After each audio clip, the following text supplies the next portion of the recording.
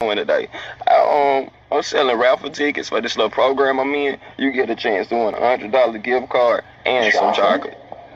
Did you say chocolate? I said chocolate, but you get that goddamn Chocolate? That goddamn Chocolate! American Chocolate! Chocolate!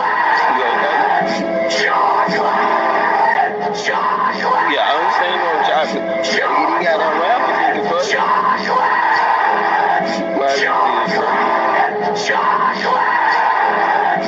Oh, I gotta get out of here. I ain't got time. What the hell going on?